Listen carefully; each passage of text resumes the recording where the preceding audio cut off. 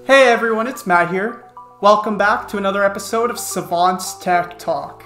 Today, we're going to provide you with some information about what you can expect on the AWS Cloud Practitioner exam, as well as some tips and resources to help you pass your AWS Practitioner exam. As always, if you have any questions or comments as you watch this video, feel free to leave them in the comments down below.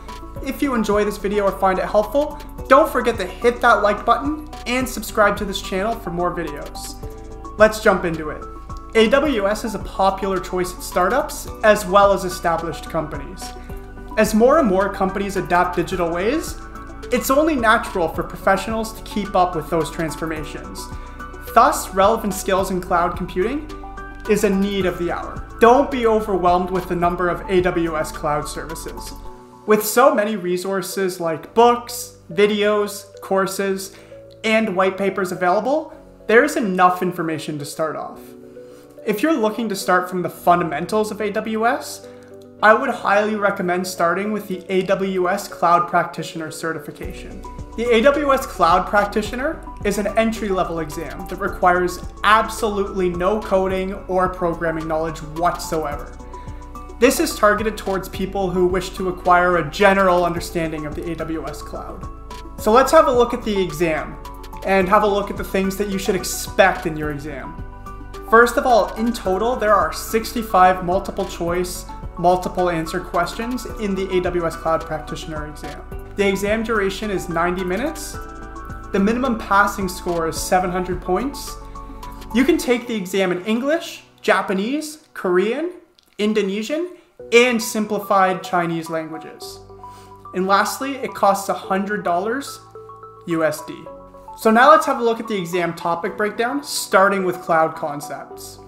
Cloud concepts is going to be 26% of the exam, and this domain checks your knowledge about the cloud, the technology it's built on, its cost and operational structure, and benefits, and finally the difference between the workings of cloud-based applications and traditional hosted ones. Then there's security.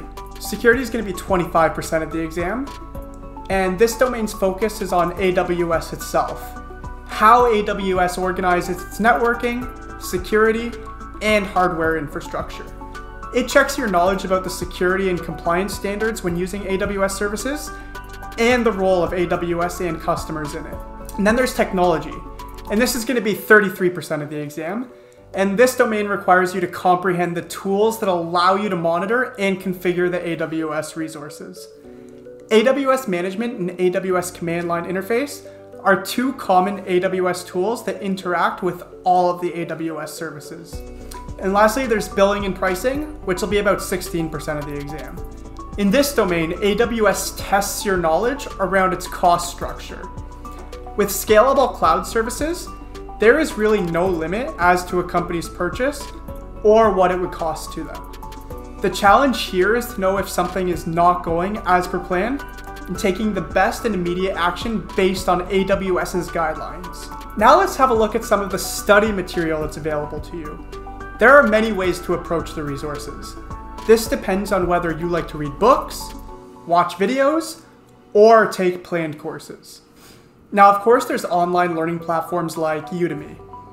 In fact, the entire AWS Cloud Practitioner knowledge is covered by Stéphane Maarek's courses on Udemy, and I'll provide a link to that in the description of this video down below. There's also a four hour video by Andrew Brown on YouTube, and this video explains the important AWS Cloud Practitioner details in a brief manner, and I'll also include the link to this in the description down below as well.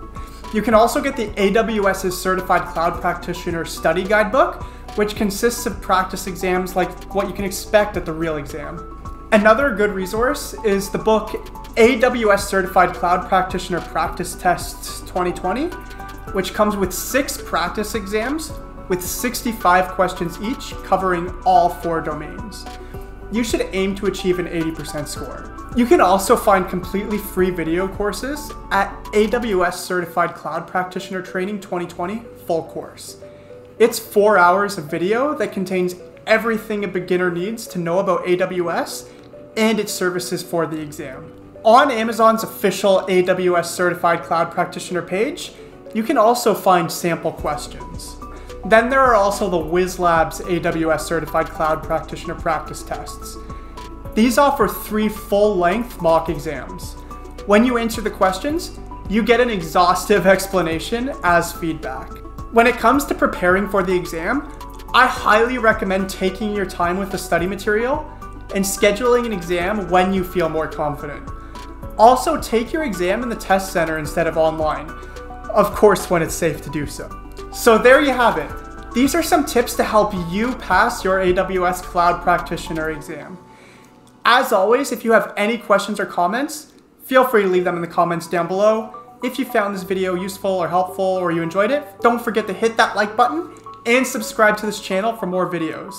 Thank you for watching.